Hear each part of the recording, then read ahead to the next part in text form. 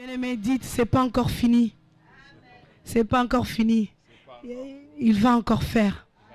Il y en a beaucoup de choses pour nous à venir. Amen. On va témoigner ici. C'est que le début. On prie pour la parole, bien-aimé. Dieu, Seigneur, Seigneur, parle-nous ce soir.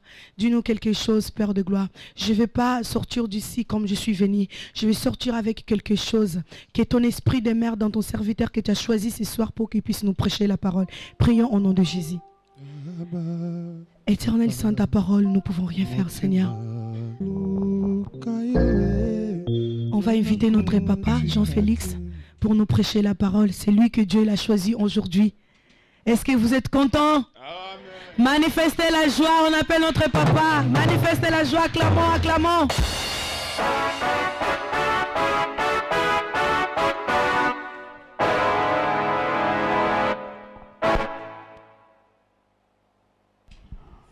Hallelujah. Hallelujah. Zambi malamu. Zambi malamu. Zambi malamu. Malamu. Zambi malamu mingi. Be. Zambi, zambi. Malamu.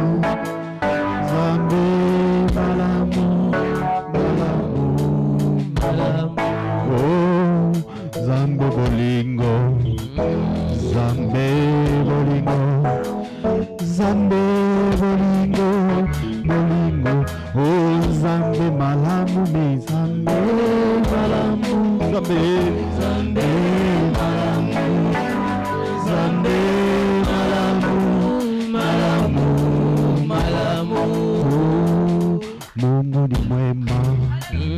Mungu ni mwema. Mungu ni mwema.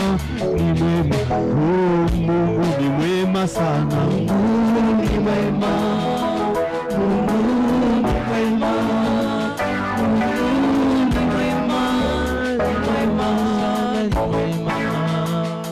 Natali bobo nanga. Natali libota nanga. Nalobi oza malamu we malamu we malamu. Nabenga yo na kombo nini ye? Shilo oyo oza malamu.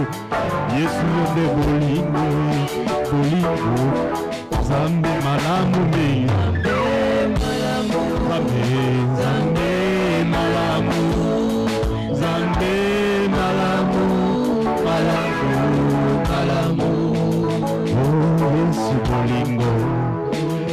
예수 보링고 예수 보링고 보링고 예수 보링고 난가 수 보링고 예수 보링고 예수 보링고 보링고 오 옌바에 용가 난가요 구마마리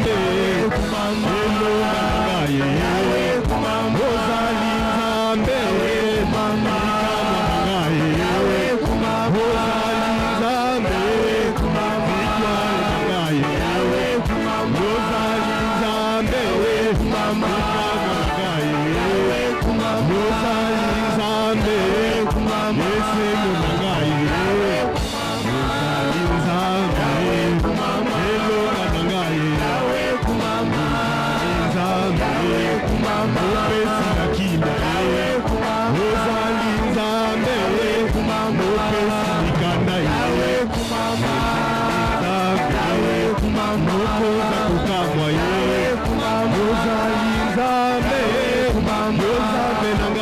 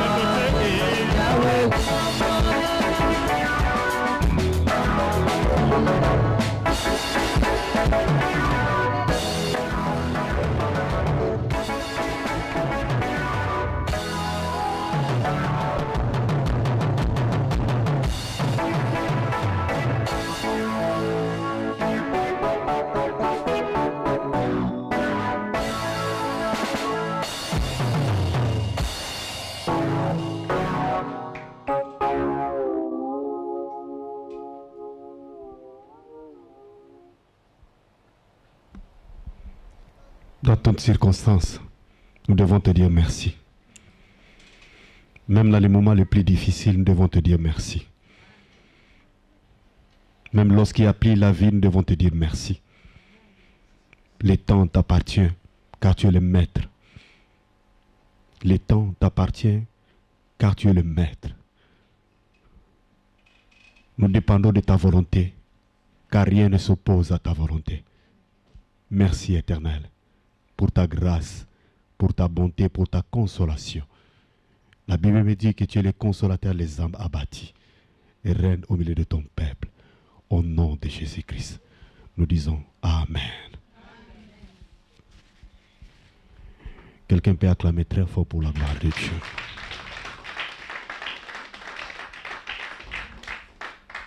Est-ce que ce soir je peux prêcher quelqu'un? Est-ce que ce soir je peux prêcher quelqu'un? Faites un geste d'amour. Alléluia. Alléluia. Amen. Alléluia. Quelqu'un peut acclamer très fort pour la gloire de Dieu. Poussez des cris de joie. Poussez des cris de joie. Alléluia. Amen. Limitez un peu la joie. Je pense que ça commence à trop monter. Alléluia. L'éternel est bon. Et laisse-moi, si aujourd'hui je dois dire un seul mot, des gens de l'université sont là. Des gens de l'université, ils ont des cahiers là-bas, ils sont là. Alléluia. Que Dieu vous bénisse là-bas, les frères, nos frères d'université. Alléluia. Vous avez vos Bibles? On vous a donné les Bibles? On vous a donné les Bibles, non? Donnez les Bibles. Ah ouais, donnez, aidez-les, aidez-les. Donnez les Bibles parce que c'est le futur, c'est le futur pasteur.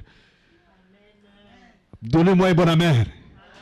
Hein, c'est le futur pasteur, les futurs apôtres, les futurs euh, euh, prophétesses. C'est nos enfants. Alléluia. Aidez-les, aidez-les. On va faire ça, on va faire ça avec eux. Mais quand viendront les jours où l'on attendra le septième, le septième ange sonner de la trompette, le mystère de Dieu s'accomplira, comme il l'a annoncé à ses serviteurs les prophètes. Alléluia. Est-ce qu'on peut acclamer très fort pour la gloire de Dieu? Acclamer très fort pour la gloire de Dieu. Amen. Il y a des fois, nos enfants vont nous dire la vérité. Et il y a un jour qui arrive. Lorsque ce jour-là viendra, le septième l'ange de l'église sonnera la trompette. Et le mystère de Dieu s'accomplira comme il a été annoncé par ses serviteurs et des prophètes. Alléluia. S'il faut dire un mot ce soir, je dirais à quelqu'un que la bonté de l'éternel n'est pas épuisée. Ici, c'est un rappel à l'Apocalypse. Et lorsque les prophètes annonçaient, la Bible dit, un moment viendra, lorsque ce jour-là viendra, le septième l'ange de l'Église sonnera la trompette. Et ça sera l'accomplissement des mystères de Dieu. Le mystère de Dieu va s'accomplir. Ce que les prophètes ont annoncé, ce que ses serviteurs ont annoncé, ça sera le temps de l'accomplissement. Alléluia. L'ange de l'éternel campe tout autour de ceux qui craignent l'éternel et les arrache des dangers. Vous devez savoir que lorsque nous parlons de la foi chrétienne, la foi chrétienne, c'est une vie remplie de mystères. Et lorsqu'il y a des fois, on te parle des choses de Dieu, tellement il y a des mystères, il y a des choses, certaines choses on ne comprend pas. Il y a certaines choses quand on nous parle, tellement qu'on n'a pas vu, on se pose des questions. Mais ici, la Bible dit, le son va, le septième ange de l'église va sonner le son de la trompette. Et ça va être le temps aussi de l'accomplissement des mystères de Dieu. Aujourd'hui, nous parlons des mystères de Dieu est accompli. Le mystère est accompli. Mais laisse-moi te dire que le mystère n'est pas encore terminé. Alléluia. Alors pour mieux comprendre ces messages, j'aimerais expliquer quelque chose. Nous allons réfléchir ensemble. Imaginons quelqu'un qui veut mourir. Il devait déjà mourir. Mais il a dit à la croix, tout est accompli. Imaginez quelqu'un, nous savons, nous tous, nous, sommes vivants aujourd'hui. Mais quelqu'un qui devait mourir, mais en disant, en parlant, tout est accompli. Alléluia. Mais en réalité, quelqu'un qui doit mourir, quitter la vie, ne devait pas dire tout est accompli parce que c'est fini. C'était l'accomplissement. Et lorsque nous parlons des mystères, nous devons se rendre compte, le mystère a commencé depuis le commencement, depuis la création. La Bible dit, nous avons appris la fois dernière à, ce qui concerne l'importance de la parole. La terre n'avait pas de forme. La terre n'avait pas de forme. Mais Dieu a dit une parole en disant que la lumière soit et la lumière fit. Et cela a déclenché les mystères de Dieu. Et Dieu a créé l'homme, a placé l'homme ici- ici-bas. Afin qu'il domine sur les oiseaux de la terre, des reptiles, des serpents et tous les animaux de la terre. Dieu a donné la domination et c'est là où le mystère a commencé. Et laisse-moi te dire une chose, chaque chose que Dieu conçut un projet pour ta vie, le diable est jaloux, le diable est en colère. Il ne veut pas que voir l'accomplissement des promesses de Dieu puisse se réaliser. Alléluia. Mais laisse-moi te dire, chaque fois que tu vas échouer, chaque fois que tu auras des, des difficultés, chaque fois que tu auras des questions sans réponse, le mystère de Dieu sera aussi avec toi. L'ennemi pensait que c'était la victoire. Parce que Jésus était cloué à la croix. Il était en, de- en des positions difficiles, impossibles de secourir. On a percé sa côte. Mais lui, il a dit, tout est accompli. C'est pour cela que je suis venu dire à quelqu'un aujourd'hui, le mystère de Dieu et le mystère de Dieu est accompli, mais ce n'est pas encore fini. Cela veut dire, si Dieu, lorsque dans l'Ancien Testament, avant la venue de Jésus-Christ, Dieu parlait à travers des, pro- des prophètes, il parlait de ces mystères. Vous devez se rendre compte, lorsque nous parlons de mystères, il n'est pas facile de croire à un mystère. Alléluia. Il n'est pas facile de croire à un mystère. Imaginez seulement si nous parlons seulement dans le langage charnel. Si quelqu'un est féticheur, qu'est-ce que ça va changer au niveau de son corps? Rien du tout. Si quelqu'un c'est un pratiquant au culte, qu'est-ce que ça va changer au niveau de son corps? Rien du tout. Donc cette personne restera identique avant. Mais cette personne a quelque chose, une connexion satanique qui le fait fonctionner. Alléluia. Le mystère de Dieu est accompli. Et le mystère de Dieu n'est pas encore fini. Et ce soir, nous devons comprendre une chose. Ici, la Bible parle pour l'avenir. Là, le prophète, dans l'Ancien Testament, le prophète parlait l'accomplissement de venir de Jésus-Christ ici-bas. Mais ce que nous venons de lire dans l'Apocalypse, la Bible nous parle qu'après aussi un temps, ce que Dieu a annoncé à travers ses prophètes, ses serviteurs, ça va s'accomplir. Cela veut dire, laisse-moi te dire, quand on parlait de la venue de Jésus-Christ, beaucoup de gens doutaient aussi de ces mystères. Beaucoup pensaient que cela ne peut pas arriver, cela ne pourra pas arriver. Mais laisse-moi te dire, aujourd'hui nous pouvons confirmer, cela est bel et bien arrivé parce que Dieu a accompli cela. Et lorsque nous disons que le mystère de Dieu s'est accompli, mais n'est pas encore fini. Vous devez se rendre compte que dans votre vie, ce que tu vis aujourd'hui, Dieu t'a réservé encore plusieurs mystères. Plusieurs mystères, Église de Dieu. Mais pour vivre le mystère de Dieu, tu dois avoir la conviction de savoir que ce que Dieu fait, ce que Dieu accomplit, il finira par réaliser ses promesses. Alléluia. Il va accomplir ses promesses. Et Dieu, c'est un Dieu de mystère. Dieu, c'est un Dieu qui ne travaille. C'est pour cela que j'aime toujours dire que Dieu aime travailler avec des hommes et des femmes de foi. Parce que le langage de Dieu ne peut pas être comparable aux hommes. Le langage de Dieu ne peut pas être compréhensif à ce monde. Quand Dieu parle des choses, d'autres personnes ne peuvent pas comprendre. Mais celui qui est attaché à Dieu peut comprendre encore que la bonté de l'éternel n'est pas épuisée et que le mystère de Dieu n'est pas fini. Je rends gloire à Dieu pour mon frère que Dieu lui a béni. Et je vois toutes les difficultés qu'il a traversées. Imaginez quand tu t'es posé des questions devant Dieu. Il y a des fois découragé. Je parle à mon frère. Il y a des fois découragé, tu te disais que Dieu t'a laissé. Or, Dieu a conçu un projet pour ta vie. Projet de paix, de bonheur, non de malheur.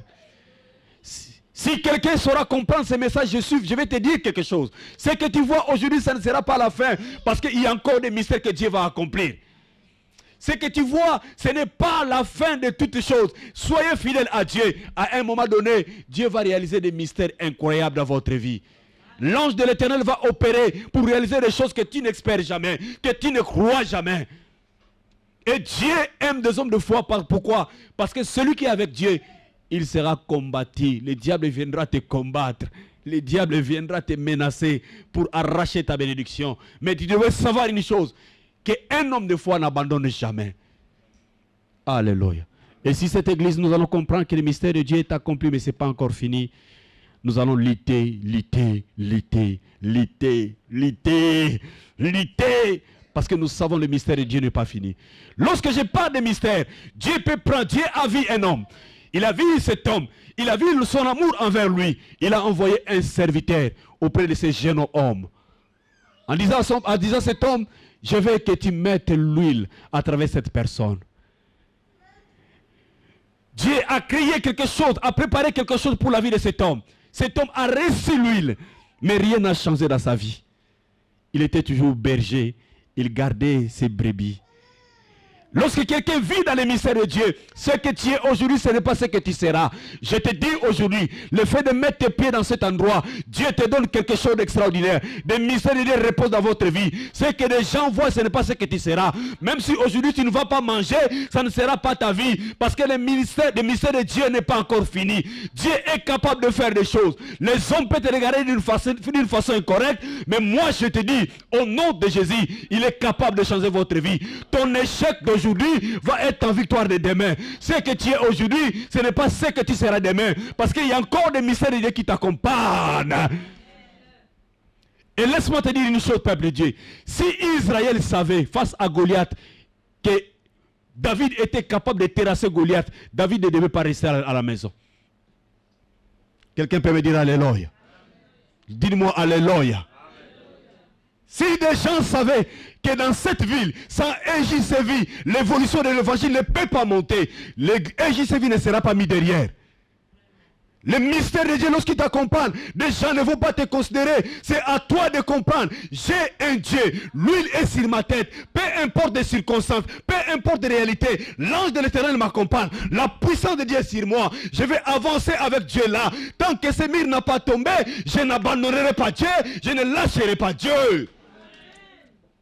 Tu dois savoir une chose. Tant que des gens dans votre vie n'ont pas encore changé la vie en disant que ton Dieu est puissant, c'est que tu as encore des combats devant votre vie. Tu dois encore te battre. Tu dois encore faire des efforts. Chercher encore Dieu jusqu'à ce que les gens vont changer leur langage. Laisse-moi te dire une chose, peuple de Dieu. Si des gens, je répète encore, si des gens savaient que nous allons vers les Philistins et que l'homme qui doit terrasser Goliath, c'est David, David devait être, parmi les soldats. Laisse-moi te dire, Dieu t'a choisi d'être ici dans ces lieux ce soir. Parce qu'à travers toi, l'évangile va être propagé dans cette ville.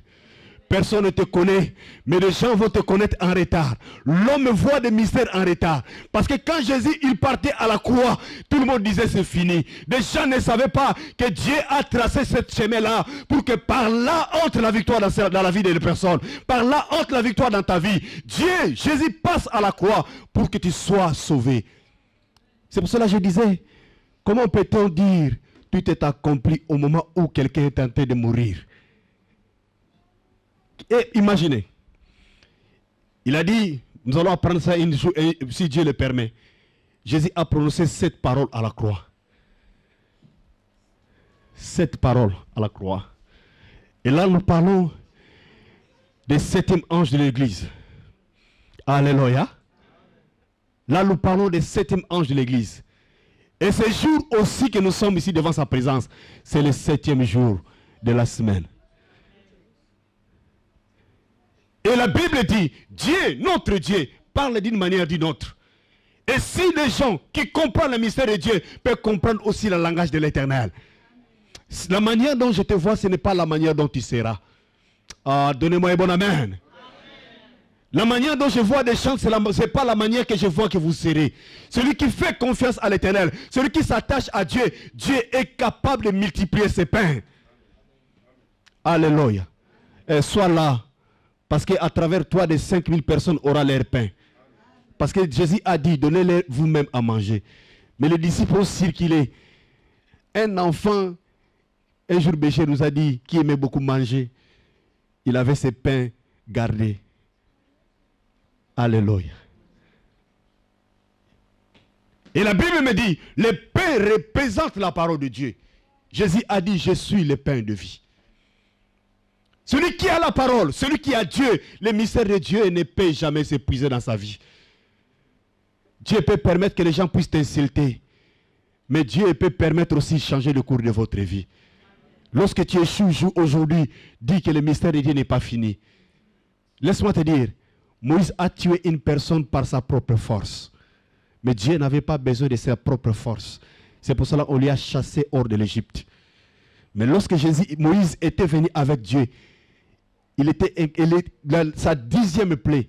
Dieu a fait à travers la main de Moïse, toute la maison, toutes les maisons ont pleuré. Parce que dans toutes les maisons, il y a un premier-né. Alléluia. Quelqu'un me comprend? Dans toutes les maisons, il y a un premier-né. Dieu a visité par la mort. Cela veut dire, celui qui s'attache à Dieu, celui qui est avec Dieu, celui qui marche avec Dieu, Dieu fera de grandes choses dans sa vie. Alléluia. Directement, nous allons passer par à Colossiens. Nous allons lire dans Colossiens chapitre 2. Pour comprendre, Colossiens chapitre 2, verset 4. Colossiens chapitre 2, verset 4. J'ai lu au nom de Jésus. J'ai dit cela afin que, que personne ne vous trompe par des discours séduisants. Alléluia. Dieu parle en disant, je dis cela pour que personne ne vous trompe par des discours séduisants. Avertissement aux fausses doctrines. Qu'est-ce qu'une fausse doctrine? Une doctrine qui ne représente, qui ne prouve pas, qui ne démontre pas le mystère de Dieu est accompli mais n'est pas encore épuisé. Je vous avertis qu'on ne puisse pas vous séduire. L'église de Dieu, ne soyez pas séduits par des petites choses. Un enfant de Dieu est supérieur aux démons. Quelqu'un peut me dire Amen? Un enfant de Dieu est supérieur même à Satan. Quelqu'un peut me dire Amen? La Bible me dit, je vous ai donné le pouvoir de marcher sur le scorpion, sur tout pouvoir de l'ennemi, et rien ne pourra vous nuire. Qu'on ne puisse pas vous séduire par des fausses, des petites doctrines. Laisse-moi te dire, peuple de Dieu, est-ce que parmi tous les disciples de Jésus, ils étaient délivrés? Quelqu'un peut me répondre? Jésus les a délivrés? Ah, Donnez-moi un, bon, un bon nom ou un bon, oui. Ils étaient délivrés? Mais on parle de Jésus délivré des démoniaques. Celui qui aime Jésus, celui qui prie Jésus, ne voit pas seulement ta vie est démoniaque. Comment on peut se réunir là où Jésus règne et en parlant encore des démons? Les fausses doctrines nous mènent seulement que tout est démoniaque. Ta vie, quand tu vois comme ça, j'étais, avec les bergers. Un chat était en train de traverser. Ici, c'était au Congo. On allait crier, nous tous ici, au nom de Jésus. Comment vous vous sentez petit comme ça? Un enfant de Dieu supérieur. La Bible dit sur tout pouvoir de l'ennemi et rien ne pourra quoi? De répondre, rien ne pourra. Pourquoi vous avez peur de ces esprits-là? Avertissement aux fausses doctrines. Les fausses doctrines nous donnent des discours. Oyez bien, tu sais, si maintenant il fait chaud, c'est le démon de chaleur. Si maintenant il plaît, c'est le démon de froid. Maintenant c'est le démon d'hiver. Maintenant, qu'est-ce qu'il a?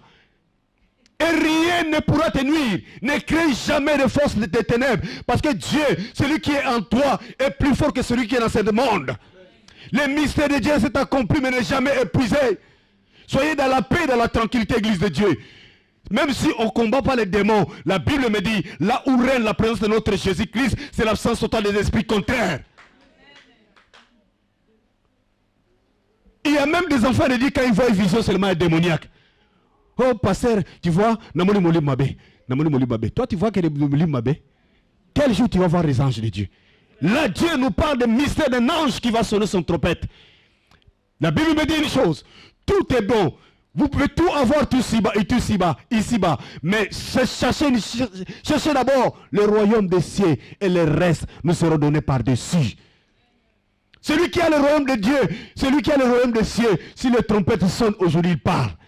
Si tu es délivré, si la sonnette sonne aujourd'hui, tu pars en enfer. Donnez-moi un bon amen.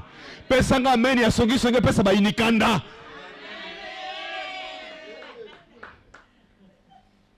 Vous savez une chose, quand j'évolue dans la foi, j'avais d'habitude, hein, je vais t'appeler Yannon Vienal. Tout ce que je vais, faire la démonstration de la puissance de Dieu. J'ai compris une chose dans ma vie. J'aime pas la puissance, mais j'aime Jésus en moi. J'aime l'Esprit de Dieu en moi. La Bible dit, quand l'Esprit de Dieu est en moi, je chante comme David. Je danse comme David. Je bouge comme David. L'Esprit de Dieu, nous prenons seulement la puissance. Sors, sors, sors dans cette corps. Demain, tu pars faire des péchés. Il y a même quelqu'un qui me dit, Pasteur, viens prier pour moi, parce que des démons me dérangent trop. Chasser seulement des démons. Après, tu vas rester païen. Moi, je vais faire ce travail-là. Mon travail étant que serviteur de Dieu, Dieu a rempli ma vie de ses mystères pour sauver des âmes. Cette église est pour sauver l'âme de la personne. Moutaloba, j'étais malade, j'étais sauvé. C'est une bonne chose, on dira gloire à Dieu. Mais quelqu'un puisse dire, je pouvais aller en enfer. Maintenant, je suis appelé citoyen du ciel. Vous savez, c'est dangereux d'être de remplir de salles, aller jusqu'à dehors, mais de ne pas aller au ciel. Alléluia. C'est dangereux. C'est très dangereux, même pour moi, un serviteur de Dieu. On va être plein ici. On chauffe avec la chaleur. Les enfants vont commencer à pleurer à cause de la chaleur. Mais après, nous partons en enfer.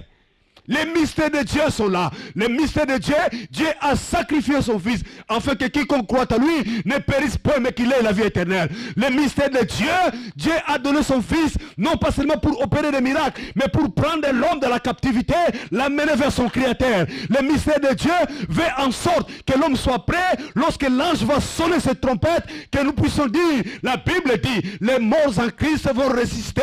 Que ce jour-là, que tes oreilles ne puissent attendre la voix l'éternel. Il a dit, je connais mes brebis et il connaît ma voix. Alléluia. Si un enfant de Dieu est attaché à cet avertissement, tu vas trouver ton plaisir. Lui, il dit, je connais des gens qui, son travail, il prêche pas, il insulte seulement des gens. Le temps que tu insultes quelqu'un en train de mourir, les portes d'enfer est ouverte devant sa vie. Et c'est le travail que Jésus a fait à la croix. Il a dit, tout est accompli. Alléluia. Écoutez ce principe de la Bible. C'est un mystère. Si quelqu'un est en Christ, il est devenu une nouvelle créature. Des choses anciennes sont fait, on fait quoi? Voici toutes choses sont devenues. Mais pourquoi tu cherches des démons dans ton corps? La Bible me dit une chose, c'est un mystère. Là où règne Jésus, il n'y aura jamais la cohabitation entre les ténèbres et la lumière. Si tu es dans la lumière, nous, nous sommes des enfants de la lumière. Que les ténèbres soient loin de nous au nom de Jésus. Que les œuvres des ténèbres soient exposées au nom de Jésus. Parce que tu es un enfant de Dieu. Lorsque tu te lèves, que ta lumière condamne les ennemis. Tu ne vas pas rester à chercher des démons. Qui me fait ça dans ma famille? Que l'ennemi puisse être vaincu au nom de Jésus. Et laisse-moi te dire, David ne cherchait pas la cause. Il a cherché seulement à savoir celui qui va gagner, celui qui aura la victoire. Quelle est la récompense qu'on lui a, quelle est la récompense qu'on lui a promis? La Bible dit, pour toi aussi il y a victoire. Apocalypse 3, 20. Apocalypse 3, 20. Les mystères de Dieu. Je lis la parole de Dieu. Voici, voici, je me tiens à la porte et repens-toi. Euh, euh, et je frappe. Si quelqu'un entend ma voix et ouvre la porte, j'entrerai chez lui. Je, soupire, euh, je souperai avec lui et lui avec moi. Amen. Est-ce qu'on peut acclamer très fort pour la parole de Dieu? Le vainqueur, je le ferai s'asseoir avec moi sur mon trône, tout comme aussi j'ai vaincu et je me suis assis avec mon Père sur le trône. Alléluia. Acclamez très fort pour la gloire de Dieu. Acclamez très fort pour la gloire de Dieu. Le mystère de Dieu est accompli mais n'est pas fini. Jésus dit pour lui, et Jésus n'est pas venu ici pour, donner déjà des millions. Tu étais pauvre, devenir riche. Non, il était venu parce qu'il savait qu'il y a une récompense qu'il entendait dans, sa vie. Il dit pour le vainqueur, à celui qui vaincra sera vêtu de blanc. Je le, je le fasserai point son nom de livre de la vie et je le confesserai devant mon Père et ses anges. Et Jésus a affirmé en disant, à celui qui vaincra sera vêtu de blanc. Comme j'ai vaincu, comme moi j'ai vaincu, je suis assis au trône, à côté du trône de mon Père. Celui qui vaincra aussi sera avec moi. La récompense pour l'Église dans ce mystère de Dieu, c'est être récompensé lors de la venue de notre Seigneur Jésus-Christ. Alléluia. Récompenser l'Église de Dieu. Jésus a dit, j'ai vaincu comme moi j'ai vaincu. Celui qui vaincra aussi sera avec moi dans ce trône. Il est important, l'église de Dieu, que nous soyons église de vainqueurs. Oh, ce soir, je parle avec des vainqueurs. Des gens qui aiment la victoire. Des gens qui veulent voir Jésus tel qu'il est. Même s'il a vécu cela 3000 ans. Mais l'église qui aime le mystère de Dieu attend aussi le voir tel qu'il est. Jésus a dit, j'ai vaincu. Comme moi j'ai vaincu, je vous amènerai aussi dans cette victoire. Laisse-moi te dire, ce que le diable cherche dans notre vie, c'est l'échec. Le diable veut que nous puissions échouer. C'est pour cela qu'il nous met dans de, fausses doctrines, s'attacher aux futilités. La prospérité, c'est une bonne chose. Mais la prospérité va passer la possibilité sera laissée. J'aime toujours dire, un homme riche, lorsqu'il est enterré, on met un petit trou. Même si on te fait un grand caveau, ça ne va pas faire 100 mètres carrés. Mais on te dépose seul à l'intérieur. Sans ton argent, sans, sans tous tes vêtements. C'est juste une partie des vêtements, même si on le met. Tu vas partir sans rien. Et même si on te met avec tes richesses, avec tes bijoux, ça va rester identique là-bas. Le plus important dans notre vie, dans ta vie, c'est sauver ton âme. C'est pour cela que la Bible dit, dans ce mystère de Dieu accompli, à quoi bon de gagner tout ici-bas, mais de ne pas aller au ciel? Si l'Église n'aime pas le ciel, c'est une Église perdue.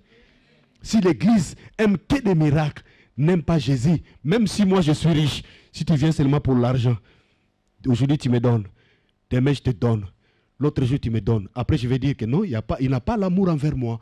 Il n'aime que ce que j'ai. Nous ne devons pas aimer Dieu de cette manière-là. Nous devons aimer Dieu à cause de ses récompenses. Non pas des récompenses terrestres. La, des miracles, ce sont des petites récompenses. Je dis des petites récompenses terrestres. Alléluia. Vous devez savoir, Jésus a sacrifié sa vie pour que vous et moi, nous ayons la vie éternelle. Pour que vous et moi, nous ayons la vie éternelle. Dans ce mystère de Dieu, qui a, qui a accompli. Il a accompli cela pour que vous et moi, nous puissions le rencontrer, voir notre Dieu tel qu'il est. Nous le verrons tel qu'il est. Et nous ne cesserons jamais de le célébrer. Et si cette église, je ne dis pas que les miracles, faites attention, je ne dis pas que les miracles est mauvais. Non. Je ne dis pas ça. Parce que des gens peuvent interpréter ça mal, que je ne crois pas aux miracles. J'étais comme ça. J'aimais que la puissance. Quand j'ai prié, j'entrais quatre jours de jeûne et prière. Nzambe puissance. Nzambe mata, mata na komona Yesu, mote kwela bango. C'est tout ce que j'ai demandé. J'aimais pas Dieu. Ce n'est pas un bon amour. Celui qui aime Dieu, j'aime Dieu. Même s'il ne me donne pas aujourd'hui, je dirais, il restera, il restera Dieu. Même si j'ai faim, je dis, il est Seigneur. Même dans le tombeau, Jésus reste Seigneur. Rien ne pourra nous séparer de l'amour de Dieu. Si aujourd'hui tu n'as pas, n'abandonne pas Dieu. Des gens vont t'insulter, dis gloire au Seigneur. Mais il y a une chose que dans ta vie que tu dois jamais perdre, c'est la vie éternelle. Et si tu gardes cela, lorsque cette, cette de l'éternel va sonner la trompette, tu attendras et tu vas partir au ciel. Pourquoi Dieu nous parle ces messages? Tout ce que Dieu a dit à l'Ancien Testament avant l'accomplissement de la venue de Jésus, il a accompli cela. Des gens qui avaient des doutes, aujourd'hui n'ayez pas de doutes. Parce que même si c'est un mystère qui arrive bientôt, tu dois l'accepter parce qu'il va l'accomplir. Même si tu ne vois pas, le fait déjà d'attendre, prophète Esaïe a prophétisé 700 ans avant sa naissance, il a accompli. Le fait que d'attendre, Jérémie a déclaré des paroles, il a accompli. Le fait que d'attendre, Michel a dit des choses sur Jésus, il a accompli. Ne perds pas espoir. Garde Jésus, garde la vie éternelle et Dieu te bénira. Que Dieu bénisse la parole de Dieu.